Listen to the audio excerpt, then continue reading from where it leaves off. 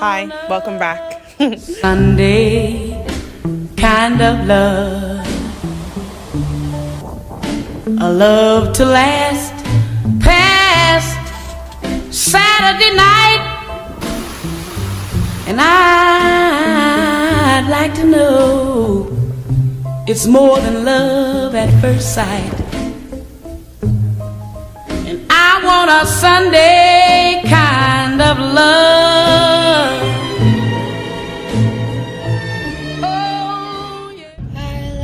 Chapter 1 Leaving Paris. So, after spending two weeks in Paris, I took the TGV to the south of France, where the next leg of my gap year was gonna be. I think taking the train like allows you to really like see the geography of of France. It's a great opportunity to see the country.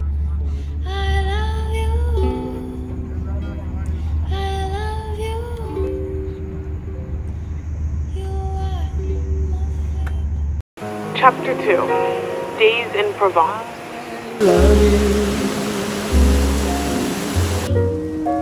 for sentimental reason. I would just describe that week as peaceful and quiet I and, and slow. I tried to be really intentional with that.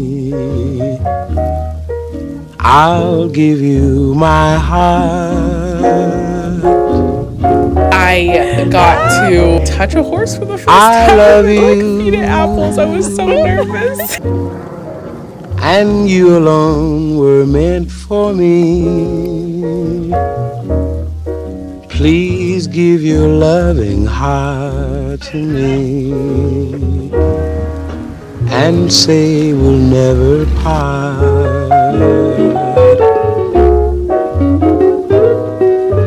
I think of you. In America, I feel like work and your career is is heavily valued and kind of like defines you in in a sense. But here, rest and time with people and family is also like incredibly heavily valued. People, the first thing they ask you won't be like, "What do you do for work?" People don't really talk about work outside of work. I've noticed. Whereas in the U.S., I feel like a common thing to talk about is like what you do for work, and, it might just be I don't know, like living in the Silicon Valley. But I guess that's one of the major conclusions I've drawn, and it's been teaching me a lot and.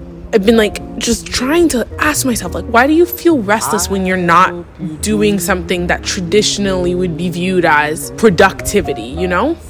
There are many ways to be productive with your time. Taking time for yourself is being productive in just a, a non conventional sense.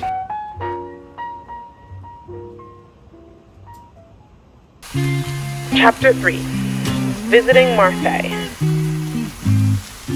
So, while I was staying in Provence, I took a day trip to Marseille. I see the crystal raindrops fall and the beauty of it all when the sun comes shining through. It's always crazy the first time that you visit a place where you're going to be staying or living for a long time. And you're like, okay, so this is what it looks like. This feels all very unfamiliar to me right now, but a month from now, it could be like where I feel at home. Like, this is going to be my home for the next few months. And I was just, just like taking it all in. Just the two of us building castles in the sky. Just the two of us, you and I. We'll look for love, no time for tears. Waste the water, all that is, and it don't make no flowers grow. Where things might come for those who wait, but not for those who wait too late. And we gotta go for all we. Chapter 4 Weekend in Grenoble. You know those picturesque photos you see in France, like of small French towns in the countryside? That is what it was like. I was just like, oh my goodness, it's so with the um, aesthetic and nice. just outside of Woodstock. Now you're watering all the flowers you plan to with your new girlfriend outside on the rooftop. Just another phase you're rushing on through.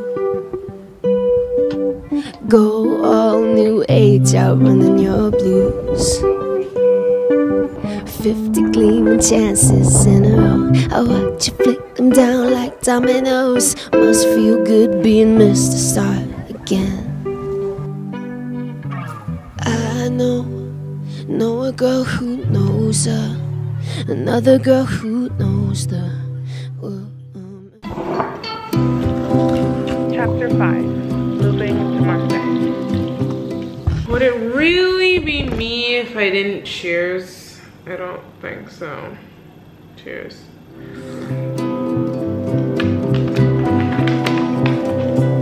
So after that week was over, I officially moved to the apartment. I'm staying with a couple, their family friends, and that's where I was going to be staying for the next few months. The first week and a half, they were still on vacation, so I was living alone. And of course, the first day I arrived, I cried because I was just like, oh my goodness, I'm alone. It's just hard for me to be alone, and I was scared. First day in Paris all over again. But um, the, that first day, I just kind of pushed through it, and I tried to. I cleaned my room, I got settled, I unpacked everything, and I really just tried to make the space mine and to just move in and feel settled.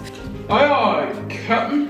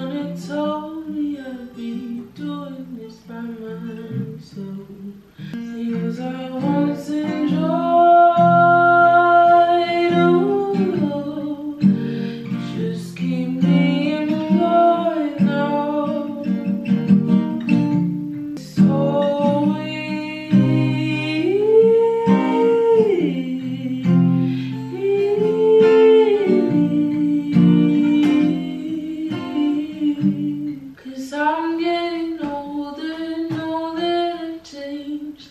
I can't go back now, nothing's the same. And I won't forget how you hold my name. Will you remember me? More love than I am right now. Wasn't holding you up. So there's nothing I can do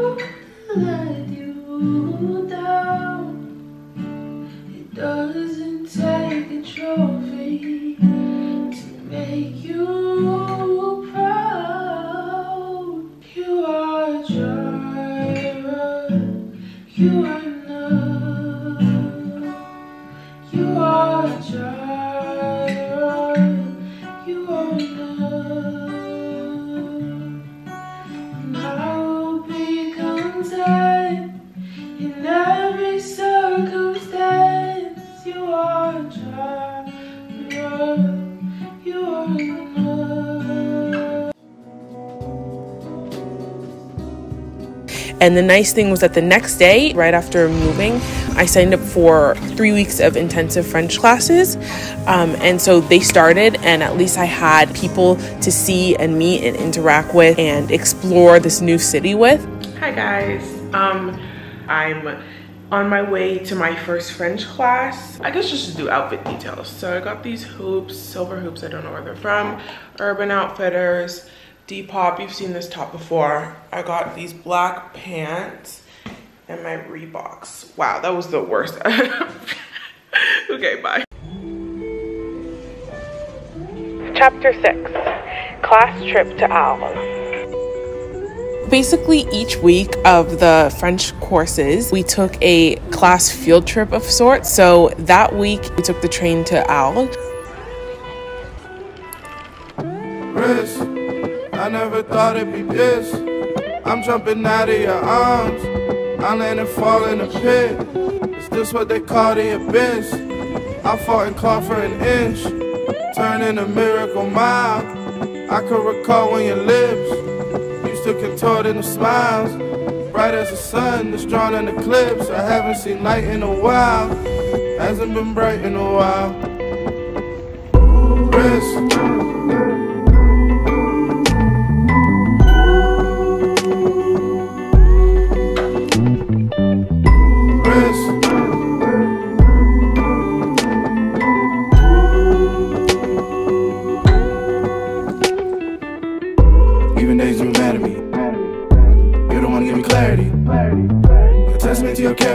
Was this huge photography festival exhibition. So there were like so many exhibits that you could go see with different photographers. you don't want to take care of me. I'm so gone at conclusion, foregone and confuse you. Where was on this tour long, I'm ready to go home. I'm ready for your bag. Can you comb my hair out so don't drag? Just my hair rub. I don't want to make stave. I just want to best up. I just want to get grub from our spot again. And one of them in particular was just mind blowing and awe inspiring and just so beautiful. It was called The New Black Vanguard. It was an exhibit just highlighting black photographers, black models, black artists, black videographers, and it was amazing. It was a celebration, and I just felt so happy and proud to see it.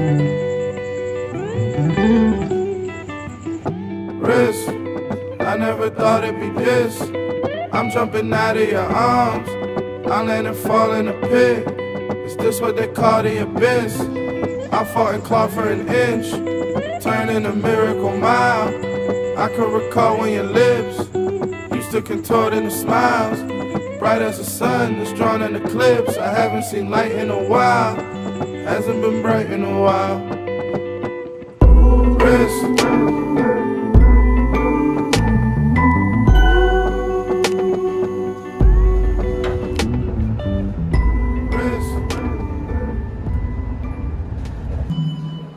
Chapter 7 New Friends, New City.